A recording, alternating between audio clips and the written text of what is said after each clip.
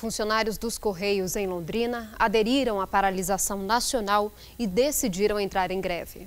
A concentração é em frente ao centro de distribuição na Zona Oeste, onde trabalham 248 funcionários.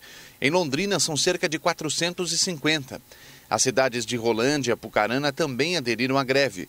A categoria protesta contra a implantação do Postal Saúde, que, segundo o sindicato, vai sair do bolso dos trabalhadores. Que hoje o plano de saúde dos Correios ele é um plano muito bom, é um plano que não cobra mensalidade, é um plano que a gente paga porcentagens quando a gente usa, é um plano que atende o titular, os, os seus dependentes, os seus pais e atende ainda os aposentados. O dissídio no acordo coletivo dizia que não se poderia mexer nesse plano, somente formando uma comissão paritária entre o sindicato e os Correios. A Federação Nacional dos Trabalhadores nos Correios já entrou com uma ação na Justiça para tentar reverter a terceirização dos serviços.